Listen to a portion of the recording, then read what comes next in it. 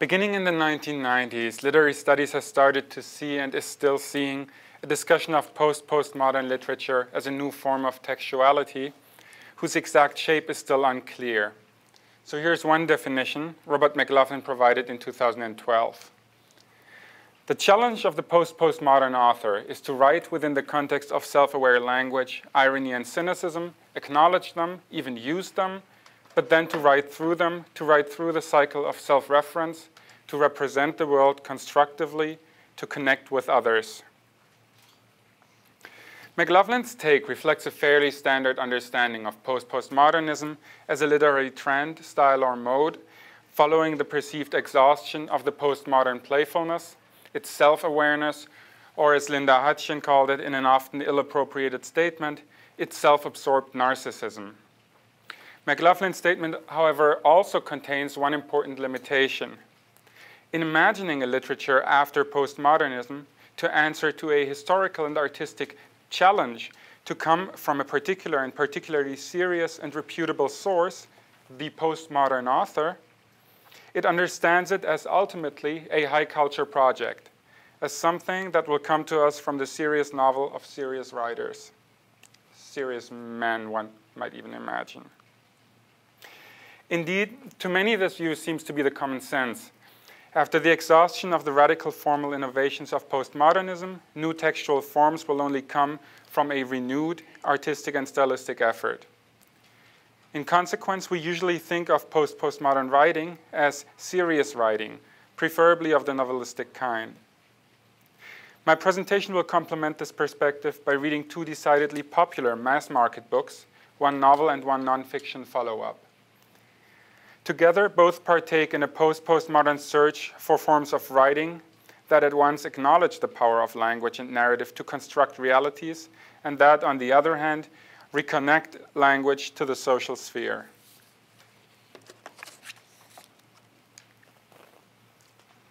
The two texts I will speak about are written by Larry Beinhart, a US author primarily known for his novel American Hero, that was heavily rewritten into the feature film Wag the Dog.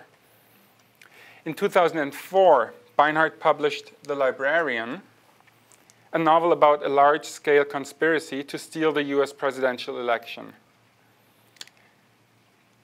In the book, a college librarian gets implicated in this conspiracy by chance, and not least because he simply tries to stay alive, increasingly uncovers it just in time for the election.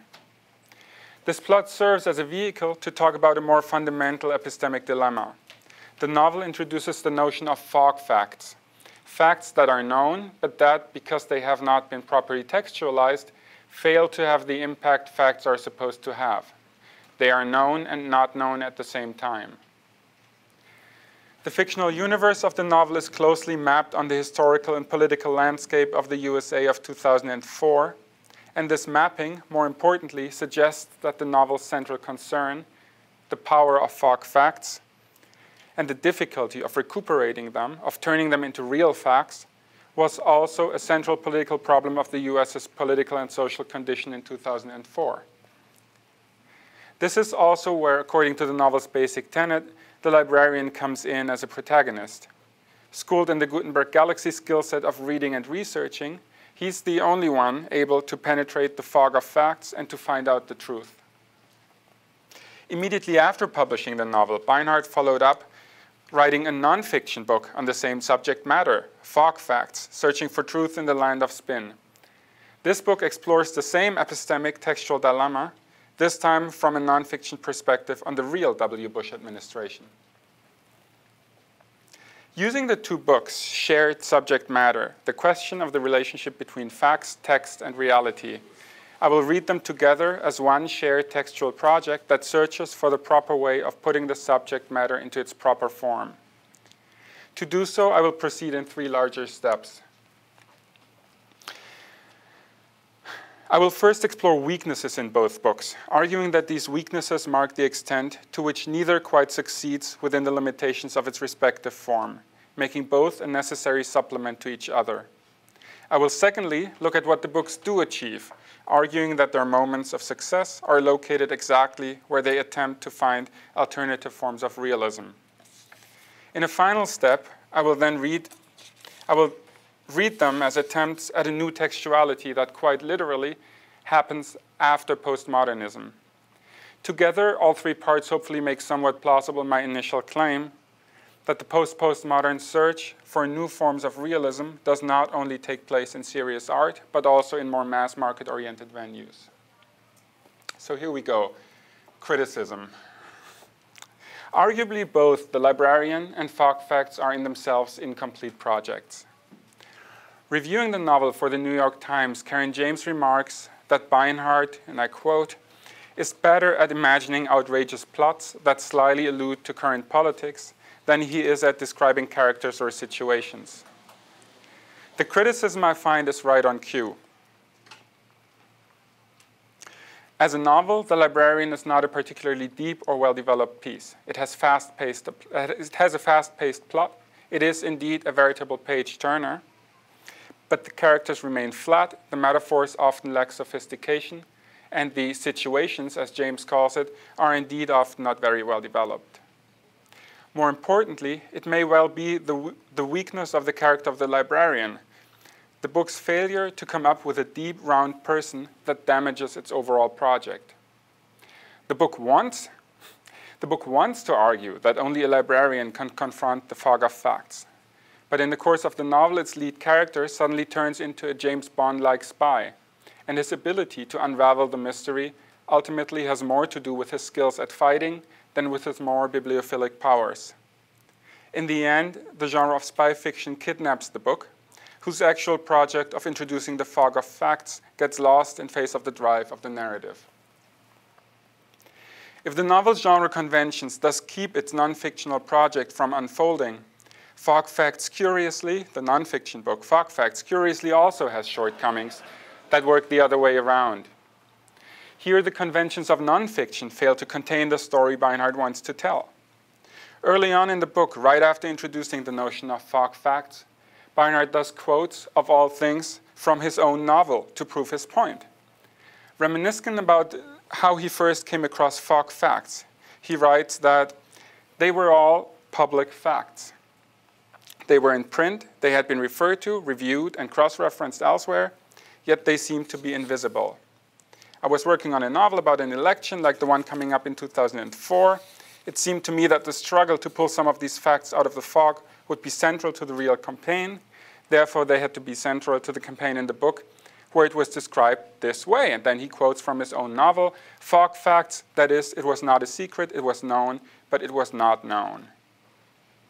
But it is not only the fog facts that Beinhart pulls from fiction.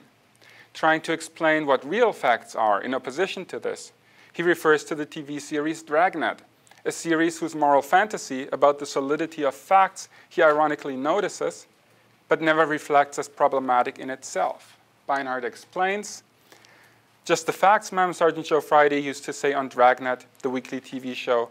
Each episode told us was, they told us was taken from the actual files of the Los Angeles Police Department. A crime had been committed, the police came, they investigated, they found the facts, those elemental, hard, and singular truths.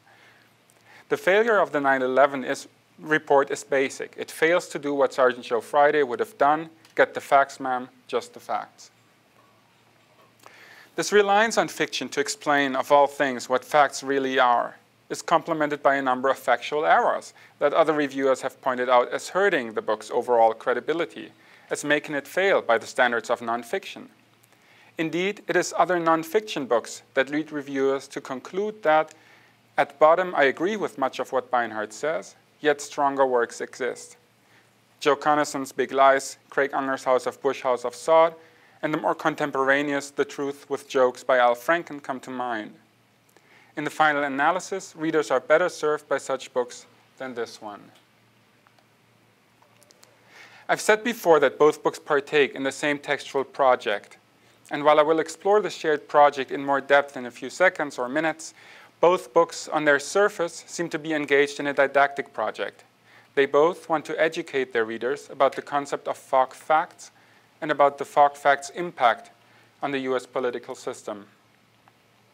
This becomes particularly clear in a surprising moment of direct reader address in The Librarian, the novel.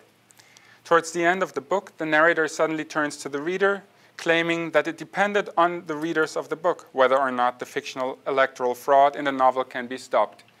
It depends on you, he says. Sorry about that, but it does.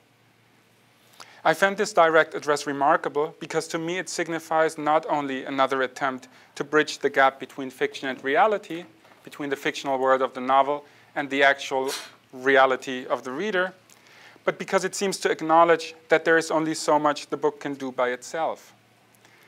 Leaving the outcome of the election up in the air, it quite literally remains incomplete, asking for the readers to contribute their share to a happy end. What's more, this very dynamic returns at the end of Facts, the nonfiction book, a similarly incomplete attempt at expressing the matter, with Beinhart again addressing the reader. The subject of this book is ongoing. As I write it, things are changing, and I want to add and subtract. Fortunately, we are in the age of the internet, and books need not end when they end. To continue this dialogue, go to fogfacts.com. So much for what I feel are failures in the books or moments of incompleteness. Now to some praise. Of course, there are more favorable reviews, or even in reviews I already quoted, there are some more favorable sections. Indeed, the quote above is taken from one such favorable review of The Librarian, and it underscores that there's another way of looking at Beinhart's work. In fact, by measuring the novel against the nonfiction Bush bashes, this review does not only draw attention to the fact that even nonfiction books are not simply nonfiction, more importantly, it points towards a particular reading practice that holds for both volumes I discuss. A reading practice that looks for pleasure exactly in how a book engages the real political situation in a partisan way.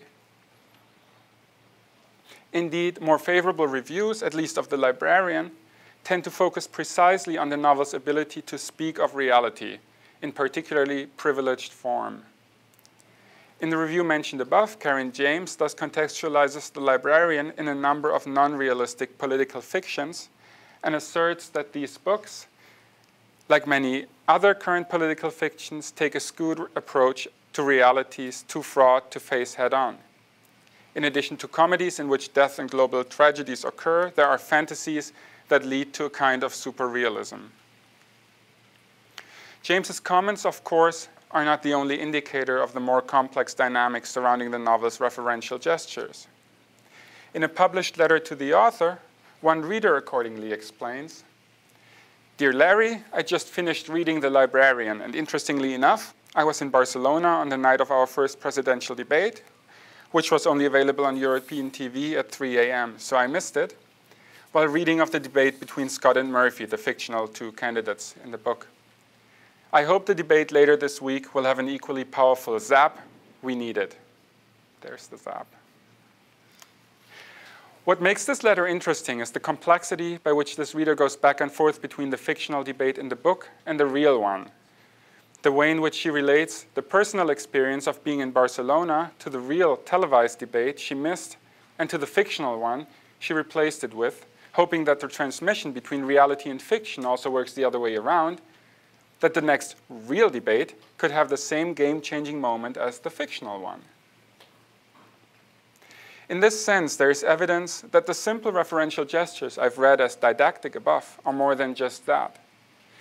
If realism can be identified as a mode of writing that is meant to give readers the effect it, repre it represents life and the social world as it seems to the common reader, the referential gestures, including the direct reader address, make for powerful reality effects indeed. They give readers a chance to actualize the narrative with regard to their own perceived reality.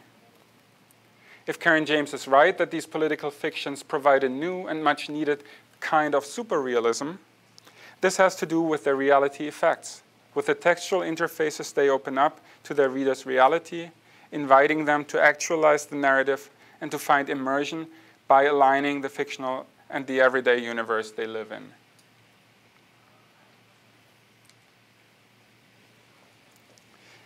But even if one thus acknowledges that Beinhart's two books attempt a particular form of realism, does this make them post-postmodern writing? One way of looking at this question is by bluntly translating post with after and then looking at the author's bibliography or biography.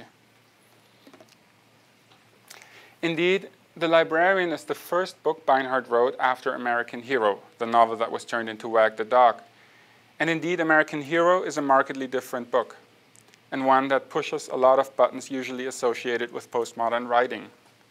Written in 1994, it too tells the story of electoral fraud, and it too maps its own narrative closely on historical realities, this time claiming that the Gulf War of 1991 did not take place, but that it was staged in Hollywood on behalf of George Herbert Walker Bush, father of W.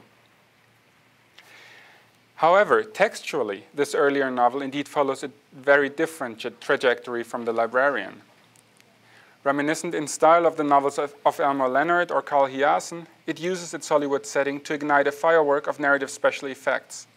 It sets up two different narrative levels, each with their own font, only to, to confuse these layers later on it misleads the reader about a love story central to the text, only to later revise the story. And it comes up with a sudden frame narrative in the end that radically changes much of the earlier narrative.